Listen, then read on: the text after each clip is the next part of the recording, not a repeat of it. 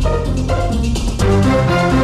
El péndulo ha oscilado hacia el lado positivo tras la decepción que supuso la reunión del Partido Comunista Chino y gracias sobre todo a las buenas expectativas sobre la política monetaria futura de la Reserva Federal. Esto es lo que explican hoy los analistas de Credit Suisse a Bloomberg. Señalan estos expertos lo siguiente, cualquier cambio además en las políticas monetarias va a ir en la dirección correcta y sobre todo para apoyar a los mercados, afirman tajantes. Y es que la idea generalizada es que ahora mismo la renta variable está floreciendo en otoño gracias al efecto efecto Yellen. Así las cosas, vemos como Wall Street cerraba ayer con ligeras ganancias que le permitían marcar nuevos máximos históricos, mientras que la renta variable asiática ha continuado su estela alcista y hemos visto al Nikkei cerrar por encima de los 15.000 puntos por primera vez en seis meses. Mientras tanto, Europa comienza la jornada del viernes, la última de la semana, prácticamente plana después de que el Eurogrupo ratificara ayer la salida limpia del rescate bancario de España y con la vista puesta hoy en la reunión del ECOFIN sobre el mecanismo único de resolución bancaria